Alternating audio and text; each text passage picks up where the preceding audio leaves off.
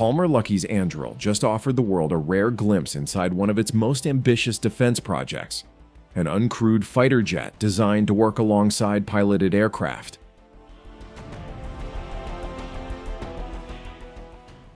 The project was recently featured in a segment on CBS's 60 Minutes. In that segment, viewers got a look at the Fury drone, a key contender in the U.S. Air Force's next generation collaborative combat aircraft program.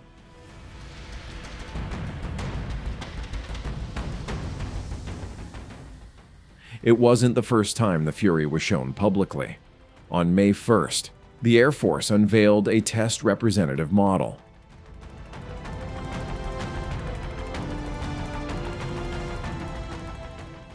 But the 60 Minutes footage revealed something more details about how the aircraft is built.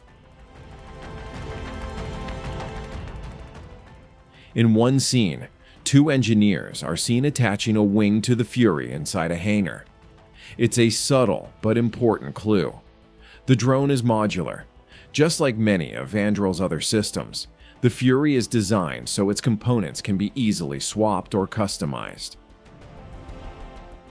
Interestingly, both engineers were using nothing more than standard screwdrivers to assemble a major part of the aircraft.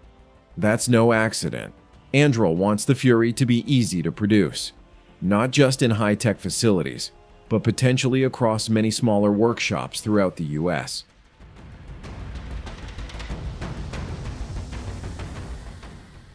The program's goal is clear make advanced drones that are not only smart and lethal, but also affordable and scalable. CBS also showed a conceptual simulation. In the video, three Fury drones fly ahead of a crewed fighter jet. They identify threats, engage enemy aircraft, and clear the way, all before the pilot even enters the danger zone. These fly out ahead of manned fighters, said Brian Schimpf, CEO of Anduril. They're able to find and engage the enemy before a human pilot is seen or targeted. This system is designed to use software to autonomously control it and work with a manned quarterback sitting in a fighter jet alongside it, sitting in an F-35 or something like that. These are first and foremost about protecting pilots' lives. These fly out ahead of manned fighters and they're able to find the enemy first be able to engage the enemy well before a manned fighter has to be seen or is in range.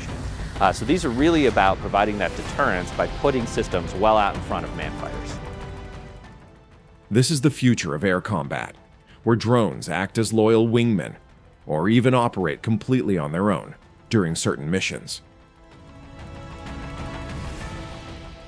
It's expected to be a key feature of the F 47, the sixth generation stealth fighter developed by Boeing but the Air Force has also said it hopes to integrate the program with F 35 Lightning IIs and F 22 Raptors.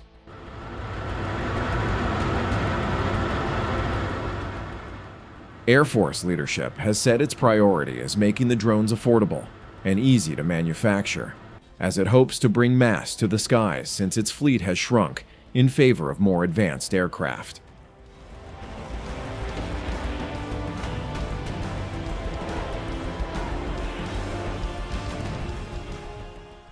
Fury isn't alone in the race. The Air Force has also tapped General Atomics to submit its own drone design, also modular and scalable. And while Anduril's aircraft, officially designated YFQ 44A, is still in the running, no contract has been awarded yet.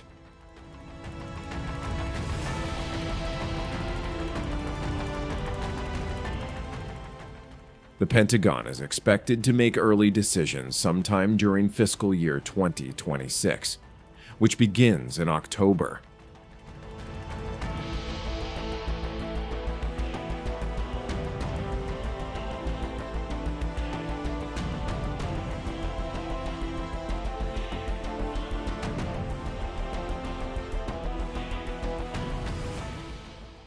And when that moment comes, it could mark the beginning of a new era, one where America's fighter pilots are no longer flying alone.